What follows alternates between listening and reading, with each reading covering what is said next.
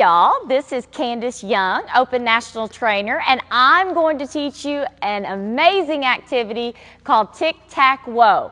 So here's the goal. Your goal is to be the first person, this is a two-player game, to get tic-tac-toe with your bean bag, all right? You need nine hula hoops, what I've got behind me. You need two bean bags that are different colors and about five spots that are different colors. So I've got some green spots and some a green bean bag and I've got some yellow over that way to show you the activity, all right? Now, how to play. You're gonna make tic-tac-toe board with our nine uh, hula hoops. Then you're gonna stand with your partner about 10 to 15 paces away. Player one is gonna toss his or her bean bag and if it lands on an empty hoop, then the player will place their spot or marker inside the hoop. You're going to collect the bean bag, run back, and let player two go.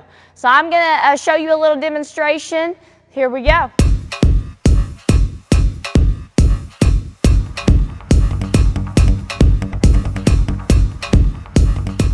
And you keep doing this until someone gets tic-tac-toe. I hope you enjoyed Tic-Tac-Whoa. I hope you're enjoying National Field Day. Have a great one, friends.